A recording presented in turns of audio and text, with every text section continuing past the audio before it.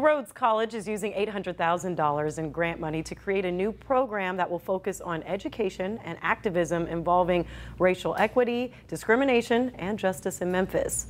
The Institute for Race and Social Transformation will be a place where students and faculty will work together to share the untold history of Memphis train in racial justice research and advocacy, and work with area social justice organizations. The Rhodes Director of Africana Studies will head up the Neighborhood Stories project, and this will involve traveling to different communities throughout Memphis and sharing their lived experiences.